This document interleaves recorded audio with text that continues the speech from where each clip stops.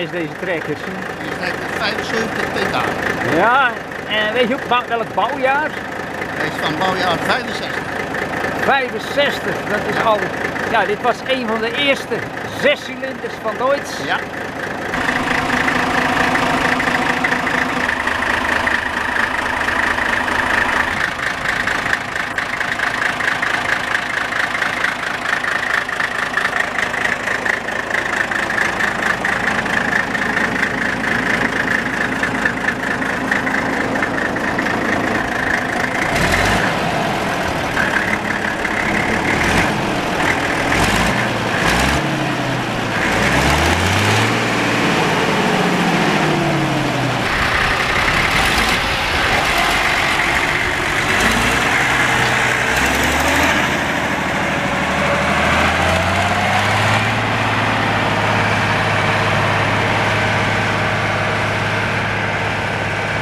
...79, 20 Ja, is D80. dat is D80, En dan voertuignummer 53. 53 van de ongeveer 60 die er gebouwd zijn.